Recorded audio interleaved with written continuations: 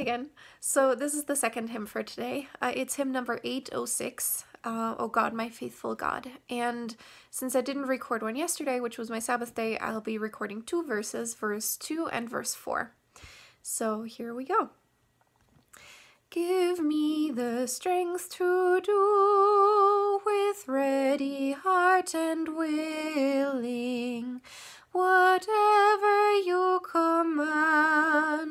calling here fulfilling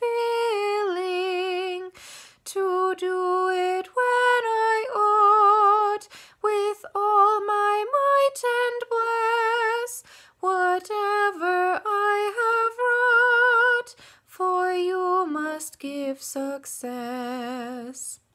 When dangers gather round,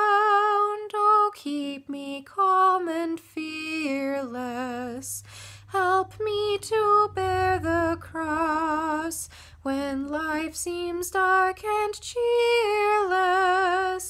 Help me as you have taught to love both great and small, and by your Spirit's might to live at peace with all. So those are the two hymns for today. So I hope I hope you'll join me again uh, tomorrow for the next two. Have a great mon- uh, Tuesday, everyone.